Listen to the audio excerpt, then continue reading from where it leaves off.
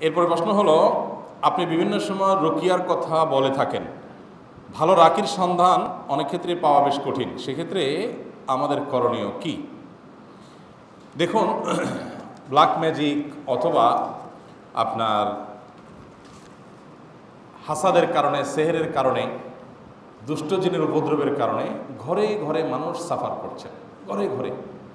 মানুষ জানছেন না। ব্যাপকভাবে এই সমস্যা প্রতিটা ঘরে ঘরে। এই সমস্যা থেকে উত্তরণের জন্য আমরা রুকিয়ার কথা বলি। রুকিয়ার কথা বললে আমরা ধরে নেই, তাহলে কোনো ঝাড়ফুঁককারী ব্যক্তির কাছে যেতেই হবে। সন্দেহ নেই, যারা রুকিয়া সম্পর্কে এক্সপার্ট বিশেষ করে সমস্যা যখন খুব জটিল হয়, তখন এক্সপার্টের স্বর্ণাপন্ন হতে হয়। কিন্তু রুকিয়া এটা শুধু কাউকে দিয়ে করাতেই হবে এমন কোনো কথা না, আপনি নিজে আমল শুরু করতে পারেন। আপনি নিজে আমল শুরু করতে পারেন, কারণ রাখি যারা, তারা কনের আয়াত পড়ে ফু দিবে, এই তো। তো এটা আপনি নিজেদের শুরু করতে পারেন। ওইটা রাখি দিয়েই করতে হবে। এমনটা মোটেও সবসময় আবশ্যক না। এখন কথা হলো তাহলে কীভাবে আমরা রুকিয়া করতে পারি?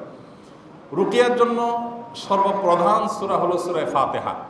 সুরায় ফাতেহা, সর্বরোগের শেফা।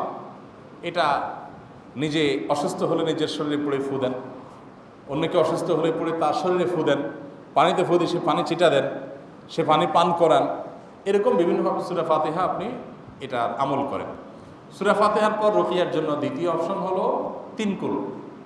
কোরআনের শেষ তিনটা সুরা সুরায় এখলাস সুরায় ফালাক সুরায় নাস তিনবার তিনবার করে তিনটা পড়েন, পড়ে ফু দেন।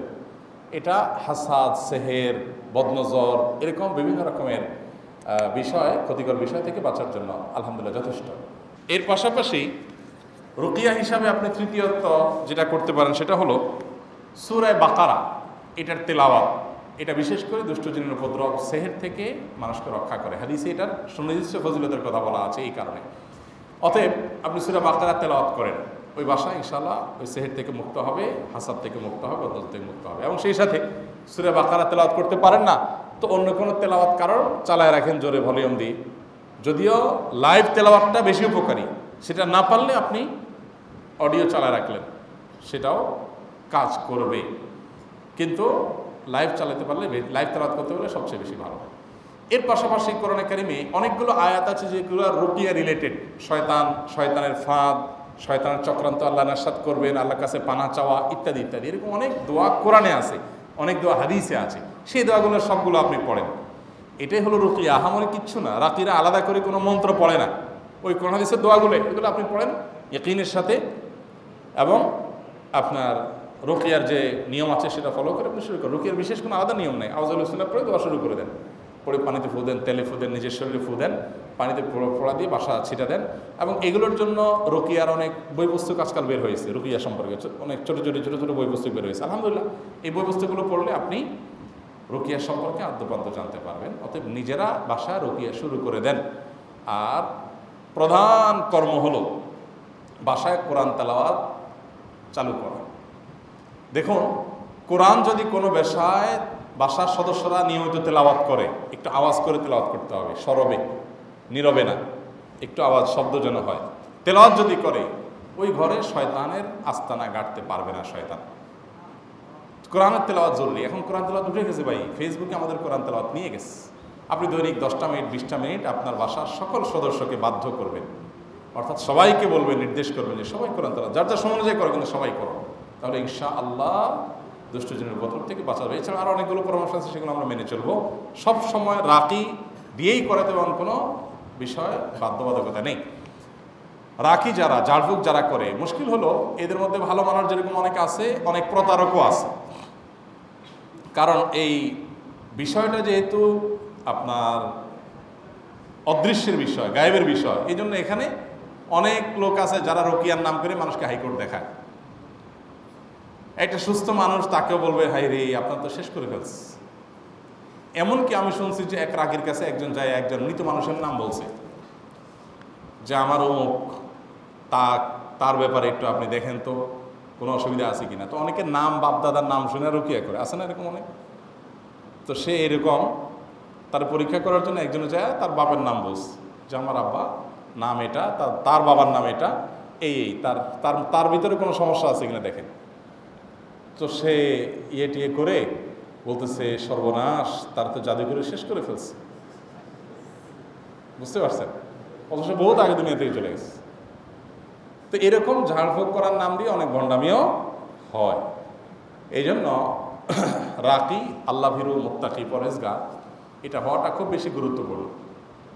সৌদি আরবে বিশেষ করে সরকারিভাবে লাইসেন্স প্রাপ্ত রাকি থাকে, যে কেউ চাইলে রুকিয়া করতে পারে না। প্রত্যেক এলাকার জন্য মুফতি যেরকম আছে সরকারিভাবে ঠিক করা, আর রাকিও ঠিক করা আছে।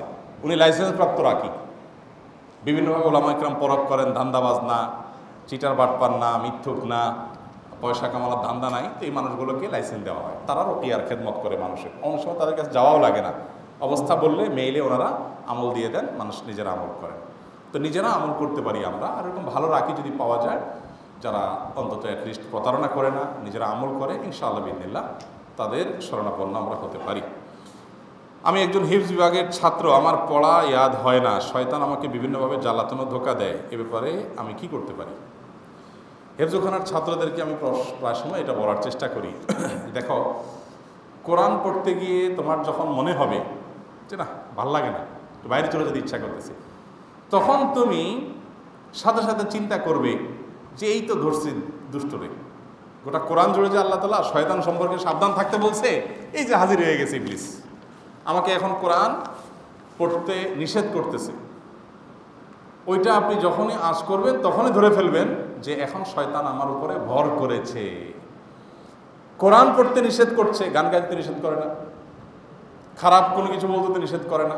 আমাকে এটা কেন নিষেধ করতেছে? নিশ্চয়ই আল্লাহ বলেছেন যে ফত্তাখিদু আদুয়া শয়তান তোমাদের শত্রু, অতএব তাকে শত্রু হিসাবে জেনে রাখো, গ্রহণ করে রাখো, শত্রু বানাও তাকে, অর্থাৎ শত্রু হিসাবে তাকে ট্রিট করো। সে যেটা নিষেধ করতেছে, সেটা আমি আরও বেশি করে করতে হবে। আরও মনোযোগ দিয়ে কোরআন তেলাওয়াত শুরু করতে হবে। শুধুমাত্র শয়তান শয়তানি করতেছে আমার ক্ষতি করার জন্য। এটা আজ করতে পারলে দেখবেন মনের অবস্থার সাথে সাথে আপনার পরিবর্তন হয়ে গেছে। এবং আওয়াজুবিল্লাহ সাথে পড়ে তারপর শুরু করবেন। কোরআনের শুরুতে আওয়াজুবিল্লাহ কেন পড়া লাগে? বলেন তো। হাদিসের শুরুতে তো আওয়াজুবিল্লাহ নেই। কোনো ওয়াজ নসিহত করার শুরুতে তো আওয়াজুবিল্লাহ করতে বলা হয়নি।